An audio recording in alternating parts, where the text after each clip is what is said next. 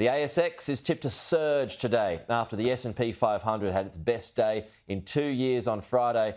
That would be back-to-back positive days in the share market. We haven't had that for a while. Joining us live now to join in this excitement for investors this morning after a bruising month. It's Peter Switzer, founder of the Switzer Report. Pete, welcome back to Australia. So, um, yeah, it's it's some nice relief. How long this lasts for, we don't know.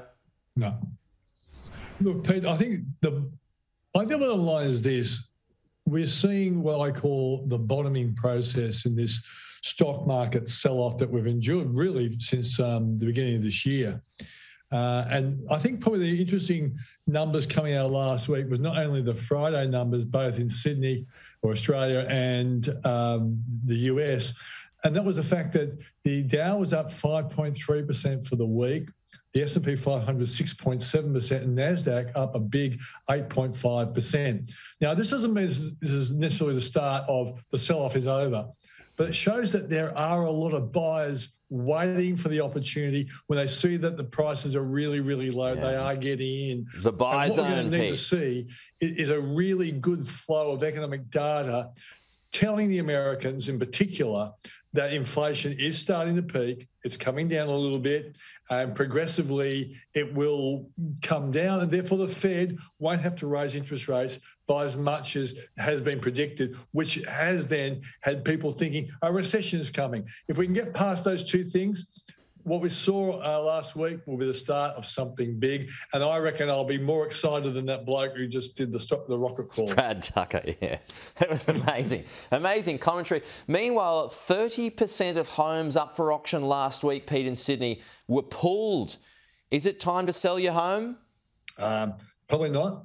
Yeah. It's probably wise to wait. At the moment, see, the RBA is going uh, on, on, what I call a Freddy Krueger nightmare on Elm Street scare program. All right.